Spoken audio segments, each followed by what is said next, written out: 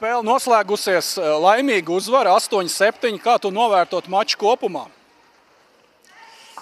Nu, laikam septītā spēle, nevis laikam, bet septītā spēle, kur uh, mēs par katru cenu negribam uzvarēt. Nu, nezinu, tā izskatās. Vai, nu, nespējam izturēt kaut kādu spēles beigu spriedzi, kur ir uh, jānostrādā ar bumbu, jānokontrolē viņa, jānospēlē drošāk. Mēs kaut kur izdarām kaut kādus uh, nezinu, tādas sasteigtas, sasteigtas situācijas. Un, nu, arī te nu, es nezinu, vēl labāk iespēja, kā novadīt spēli līdz beigām. Ka tu esi plus divi, ka tev ir vairākums, ka tev ir vēl divi soda metieni, bet tu izdari visu, lai, lai to spēli nezinu, neuzvarētu. Ja? Bet, nu, protams, labāk tagad ir šādu uzvaru un trīs punktu kabatā, ja? nekā atkal kaut kāds zaudējums, kur tu esi ar spēles pārsvaru. Ja? Tā kā tāds mazs komentārs. Ja. Pie 7-2 šķiet jau, ka nu, uzvar nekur neizpaliks, un tomēr spēlētājiem kaut kas galvā sagāja ne tā kā vajag, vai pārliecība zuda vai pašpārliecinātība parādījās spēlētājos? Es domāju, pašpārliecinātība noteikti ne, jo sešas spēles mums ir bijušas jau aiz muguras. Mēs spēlējam ar lielu pārsvaru arī dažas spēles, un, un, un kur mēs nespējam realizēt uh, spēles beigas tieši ja, un zaudam mačus.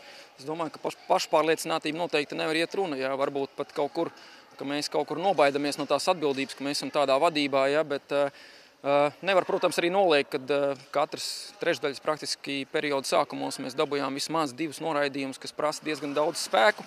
Un, uh, un, un, un tas mums kaut kur varbūt arī atņēma, atņēma tos spēkus, teiksim, lai nospēlētu tieši visu, visu trešdaļu vienā līmenī. Ja, un, bet, nu, protams, protams, beigās arī ķekau diezgan daudz, diezgan daudz arī dabūja, dabūja tos vairāk, mazākums. Ja, un, Un kaut kur ir diezgan liela problēma mums tieši ar to vairākumu realizāciju. Un praktiski mēs guvām vārdus tikai spēlējot 5 uz 3. Ja, ka, nu, tur ir jāmet iekšā, tur nav citu variantu.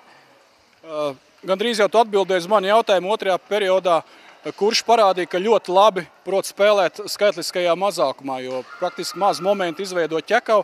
Toties mača beigās nu, vienā vairākumā divi zaudēt vārtu. Nu, tas ir kaut kas nu, nepieņemams droši vien. Nu, tieši tā, pareizi arī pateicis, tas ir nepieņemam. Un, un, protams, tas vairāk, vairāk ir domāts par kaut kādu spēlētāju uh, disciplīnu, spēlētāju domāšanu un koncentrēšanos. Ja, un, Un kā jau minēji, ja, tad uh, mazākums tik labi izturēts, bet, uh, ja tu spēlē vairākumā, nu, viena cilvēka pārsvars līdz ar to, nu, kur ta pretinieks vēl kaut ko var izdarīt. Ja, un, un, un tāpēc varbūt es domāju, ka kaut kur atslābinājāmies.